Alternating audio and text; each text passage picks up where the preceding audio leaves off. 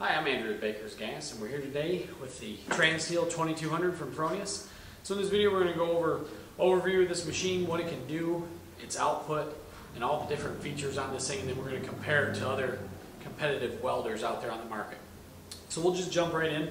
Um, so if you're familiar with Fronius, uh, that's awesome. They make some awesome equipment. If you're brand new to Fronius and you're looking at an all-around MIG, TIG, stick welder, well, this is an option for you. So um, the TransSteel 2200 is a 230 amp welder. Um, it does 110, 220. As you can see here, we're plugged into 110. Um, it is a 100% duty cycle at 105 amps on 100 on, on 110 volt, and then it's a you can go 220 on this unit too. So and it's going to range between 100% duty cycle depending on your amperage. Um, it's about a 60 amp duty cycle though at 160 amps on this unit and 230. So big, uh, very nice machine, multi-voltage. It recognizes the voltage, so all you gotta do is change the plug, plug it in, and it goes. Uh, some of the features on this unit I like to point out. So it is a synergic unit, so it's gonna tell you, you just set wire diameter, what wire you're running, gas, and you just choose the metal thickness right on the front of the screen, and it automatically gives you wire feed speed, voltage, obviously amperage as well. So it's a very intuitive machine. You just set it, and it's already going to give you a good parameter. Now you can adjust it from there, go up and down, or you can put it in manual mode, and then obviously just run voltage and wire feed speed on this. But it also stick welds and TIG welds. Now, one thing about this unit, it will not AC TIG weld, only DC TIG welding and it's only lift arc, no high frequency on this unit. So you got a scratch starter lift arc on your TIG, TIG setup. And we'll link all the consumables down below because you can get a TIG kit for this thing. It will run a foot pedal. Um, and one thing to point out on the back of the machine, it has two solenoids, two gas solenoids. So we have our TIG solenoid and our MIG solenoid. So MIG gas, TIG gas, very nice. Has two solenoids set up for that. On the front of the unit, so you can see down here, what we got her set up for steel E7 ER70S6 wire. So you can toggle down through all those. So we can run steel, uh, stainless steel, and then we can also run a like a silicon bronze, and then we can run 5356, 4043, um, and we can run a flux core wire, metal core wire, and a self shielded wire for this. So you can run all kinds of different wires on this unit. One of the better features on this thing, this thing will push aluminum without a spool gun through the regular MIG, MIG torch that you get. Now you can also get a setup, and we'll link this all down below, but you can get a separate MIG gun to run aluminum as well, because if anybody knows about running aluminum, you got to keep your liners separate from your steel liner because you get contamination. It's just a whole lot easier to have a separate rig setup for aluminum. But on the inside of the machine here, you can see we can fit a one or two pound spool for the aluminum wire or silicon bronze wire or whatever smaller flux core inner shield wire. And then we also fit a 10 or 11 pound spool on here. So they're, they're not, you can't take it out or you don't have to take off the spindle to put on a smaller spool. They just have two spool spindles in there right now. Um, it's pretty awesome. They color code everything, so all their drive rolls are color coded. So you can see here we got 023, 030, 035, 040, and then 045. So we got red on 045, blue on 035, and white on 030. So the we're running a blue drive roll, so we're running 035 right now, and all their drive rolls, we'll link the kits for those as well down below, but they're all color coded. So the color code matches what the contact tip bag comes in, uh, what the liner bag comes in.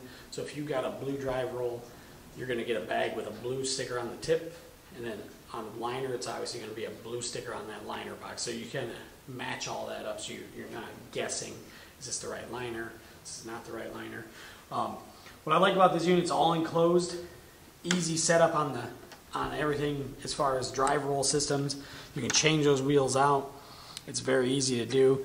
Uh, the biggest thing we get complaints about or questions is how come I can't open it? Well, you got to almost you got to open it with two hands to get it open. So you just pull it aside and unclicks. Um, another question we often get on this unit: What's in here? So this is actually a fan motor. This this fan inside there cools the internal components on the machine. I wouldn't worry about that until the fan goes bad. We haven't seen any come back for the bad fan, but it's just an easy access to get to that fan if it does go bad. Um, on the back of the machine, I'll show you something here.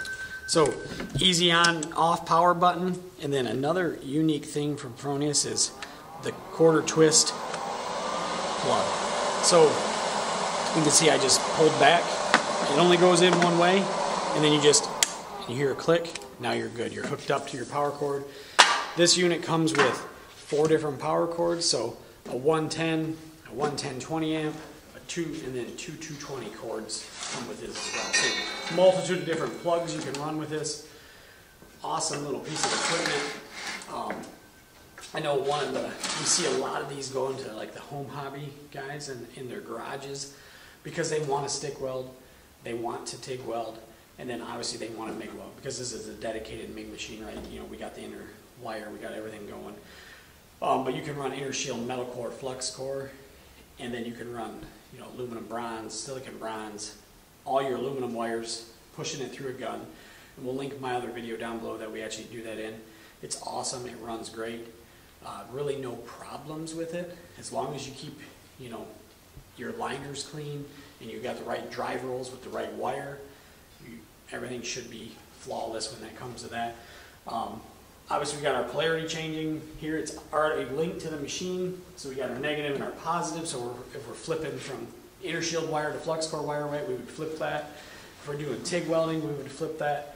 Now, one thing I want to tell you on the stick welding side of this thing, it will not run 60-10.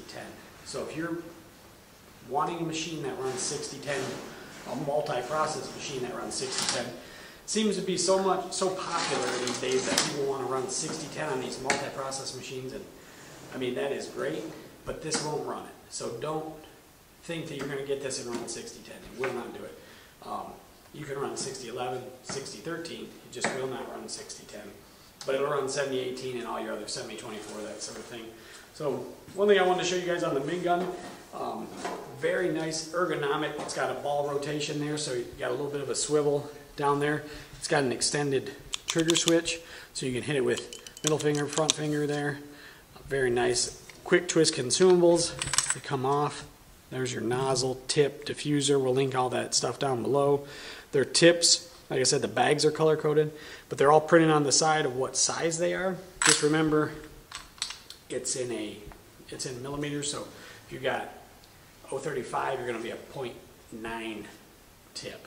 It's kind of a correlation because these are made in Austria, um, so they do use that system over there. But all in all, very easy gun to set up. Um, the liners are very easy to change out. If you can see this here, so this this comes out, and actually this is a consumable, but that goes on there. So they sell liner in bulk, so you can just buy bulk liner, and then this is actually you can re, you don't have to it's really not a consumable, but you can buy extra ones. Um, but that goes, that threads on your liner, and then it's just a, you push it down in, and you actually feed this, this gun, oh, I messed up. You feed this liner through the front end of the gun, and then you cut it back here on the back end of the gun because what it does is it makes it easier to uh, change that out if you go through the front instead of going through the back. Sometimes you get the wrong length if you go through the back, and uh, people they cut them wrong. So just to be aware, I got a video out there on that as well. Um, so look at that when you get a time. And then, but all in all, great little machine. The thing runs really well. I'll link the other videos where we run this. Um, and it has a very good duty cycle. We see a lot of guys, home hobby, garage, even fabrication light repair guys, they buy this because they'll plug it into their engine drive and run it off their engine drive if they need inner shield flux core wire, or they want to run a dual shield flux core wire. They don't have a suitcase, but they have an engine drive. We can run it on 110. It's awesome for that. Now, in comparison, this video does compare to the Miller 215 multiprocess and the Lincoln 215 MP multiprocess. So it compares to those. Price is roughly the same in the same ballpark. Um, but check it out. We'll link everything down below. But as far as duty cycle, uh, output wise, uh, they all are very comparable.